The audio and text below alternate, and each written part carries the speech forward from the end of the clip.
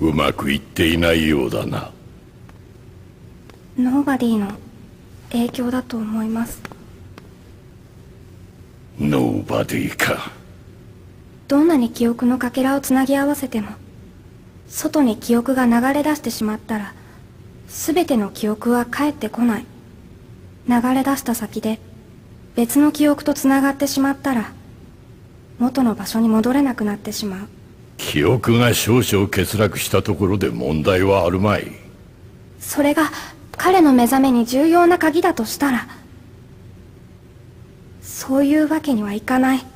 鍵。空と空につながる者たちの記憶を操る魔女。ナミネ。お前には何かが見えているのか？